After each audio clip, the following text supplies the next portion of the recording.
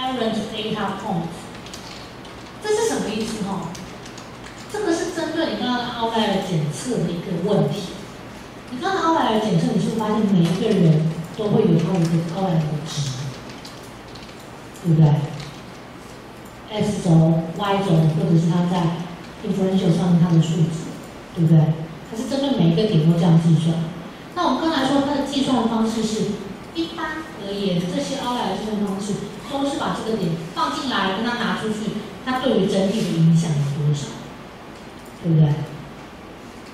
那可是，可是，如果这个凹来不是一个点，它是一群点，呃，什么它是两个以上的在这里。当我在算第四号是不是凹来的时候，我在算四号是不是 outlier 的时候，我整体模式三还是在里面？我在算三是不是奥莱尔的时候？四号挂在里面，所以它可能会造成三跟四算起来好像不是很来，可以懂我的意思吗？因为我们每一个算这个点是多少，我就把这个点放进来，看它拿放进去跟拿掉，看它的差异吗。放进去跟拿掉看它的差异。可是我把这个点放进来，他的好朋友还在，对整体模式的影响都还在。那这两点，假设我是五个点，你就会发现面积很大。OK，那我们称这个叫 cluster error data point，就是这个 outlier 它不是一个点，它可能是几个一群的出现。那这个部分就需要你看图表，就是我们刚刚说 scatter 的话，你刚刚看到那个分散图里面看一下有没有这样的问题，有的话就特别注意一下。那它没有一个特别的检定方式就这样检定，它第一个先要肉眼估计，好，然后再来注意这些，再来看看看它的一个就是。判断它是不是整个 class 的 outlier，通常情况不会这样子。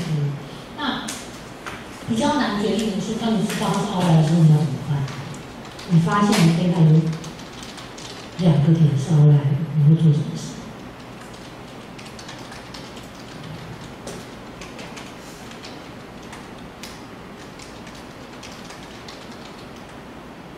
你的 data 测量里面有两个点是 outlier。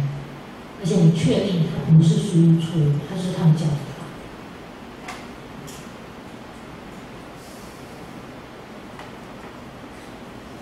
第一件事，千万不能忽略它，因为你忽略它，你的 regression line 就是会受到影响。但是第二件事情，你也是去 not be automatically eliminated，它不可以，绝对不能被自动的 delete 掉。你没有原因把它删掉，就是你在 modify 你的 data，OK 吗？不能随意删除资料，除非你有正当性、正确性。你不确定它是输入错误，你可以把它拿掉。你确定你是测量错误，比如说你要测的是青少年，结果这位先生他是一个八十岁的老先生，那他不不是你的族群，你可以把它撕掉。但是如果你没有一个明显的原因，你把它拿掉，这是不行的。别人家会答复说：“啊，你的测量就是这么多，那他没有特殊原因把它拿掉，是你在篡改你的资料，这是违，这是违反伦理的。”好，那怎么办呢？第一个是你先判断你有没有，他到底是不是你要的族群，因为是这样子的。如果你要测量是这个大多数的人，跟一般人是很不一样的。那你把它包含在你资料里面，其实对于你资料解析是有限的，有影响的。那可是假设你不包含它，但是大多数人像，你有一些几个人或是一个人，他是代表的是少数族群，你把它拿掉，那你 data 的类化性就更少。所以它其实是个两难的议题的。那最建议是这样做。你可以跑两次像你的跑法，一次是 include 你的 outlier，一次是 exclude 你的 outlier，比较两次的话有没有差异？那在你的 paper 里面跑，我有 outlier，但是我这个 outlier 它不是数据，它不是什么问题，它可能代表的是某一些数据。那当它在在我的分析里面的时候，这个分析结果是这样；当它拿掉不在的时候，我的分析结果是这样。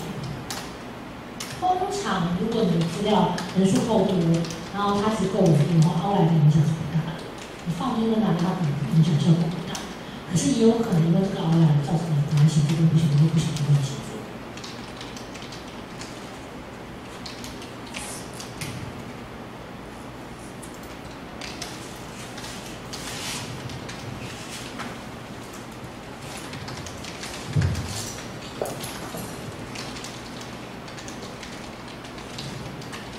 所以比较正式的方法是，你可能会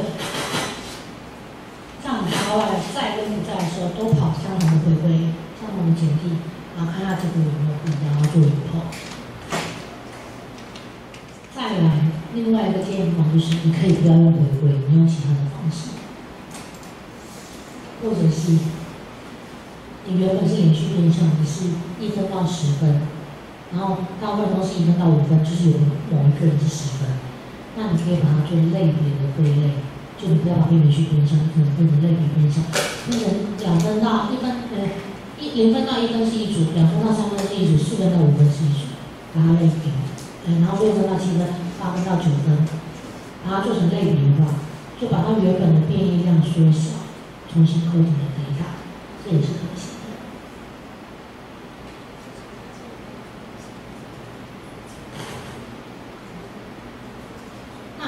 一个 trade off，有得必有失，有失必有得，对不对？你可以用这个方法解解决它是偷懒的问题，但同样你就丧失丧失了一些你的 variable 的变异数、变异量。但是世界上真实世界就是这样，就是很多时候我们要有一些取舍。